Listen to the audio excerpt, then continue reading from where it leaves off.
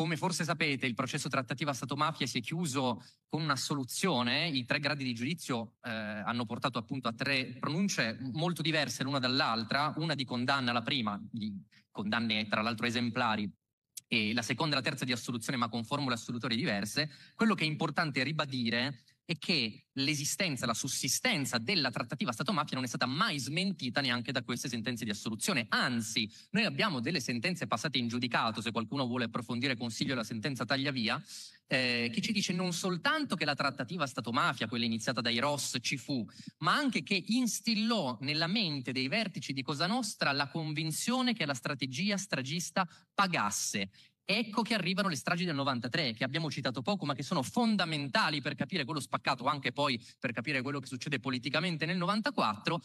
Stragi nel 93 nella cui cornice muoiono anche due bambine, due civili, oltre ad altri, al, ad altri otto adulti, eh, vittime di cui nessuno, nessuno, parla. E invece bisogna dare voce anche a queste vittime.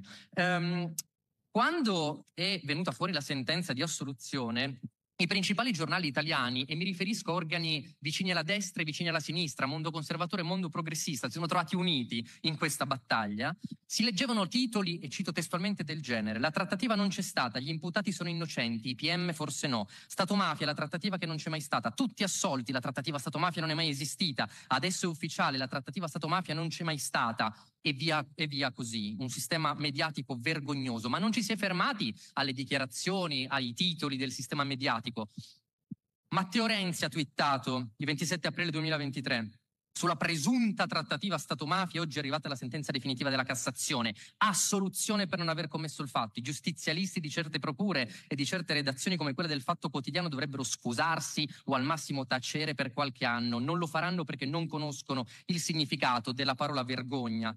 Evidentemente lui la vergogna riesce a vederla ogni mattino quando si guarda allo specchio. Eh, Matteo Salvini, appoggio di cuore la proposta avanzata dal riformista, anni di accuse infondate, calunnie e sofferenza non potranno essere cancellati. Parla di, dell'iniziativa di eh, nominare Mario Mori senatore a vita, ma l'onore e la riconoscenza al generale e all'arma, da sempre in, in prima fila nella lotta alle mafie, devono essere tributati.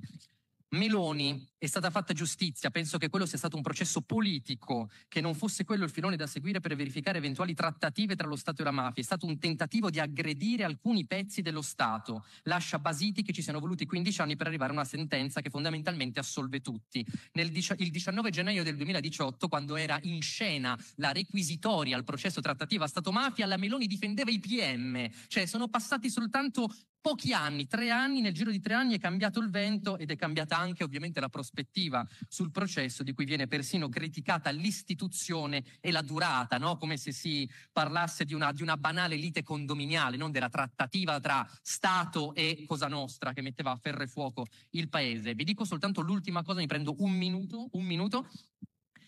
E nel maggio del 2024 l'ex generale del Ross Mario Mori, nonché ex numero uno dei servizi segreti, è stato indagato dalla Procura di Firenze nell'inchiesta sulle stragi del 1993. È indagato per strage, associazione mafiosa, associazione con finalità di terrorismo internazionale ed eversione dell'ordine democratico.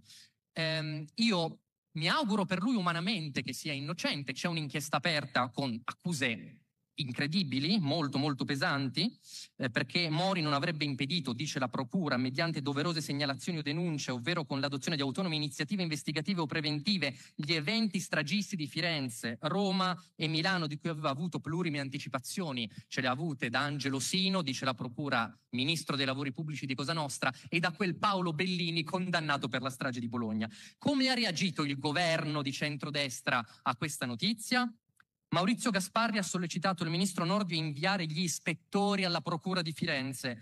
Il sottosegretario, e chiudo, alla Presidenza del Consiglio Alfredo Mantovano ha accolto in pompa magna Mario Mori a Palazzo Chigi manifestandogli, cito tra virgolette, vicinanza di fronte alle contestazioni che gli vengono rivolte. Abbiamo un sottosegretario di Stato tra gli uomini più fidati della Premier Meloni che accoglie a Palazzo Chigi Mori indagato per concorso in strage con aggravante della finalità mafiosa e terroristica. Io credo che siamo un paese vergognoso.